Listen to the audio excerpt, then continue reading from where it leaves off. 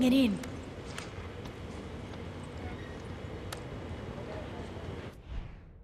There's these farmers in Sombreado Gorge. They're super fans of La Moral.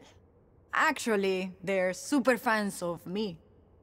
They were part of my fan club when I was on the national team. They tipped us off to this special convoy that always rolls through Shao Pass. We put together a smash and grab attack plan, and I told my super fans to sit tight until they hear the word knuckleball. Nobody knows what this fancy convoy is carrying, but we know it's valuable. Benitez always slams it with crazy security. A hundred soldados. Dani, we need you to hit the convoy. I'm sure you can handle this all by yourself. But if you want some help, my people are pumped and ready to go. I'll keep tabs on the convoy and let you know when it's near the pass.